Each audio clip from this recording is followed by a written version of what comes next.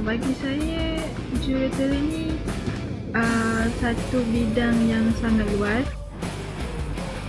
May I know your perception of engineers towards CN50?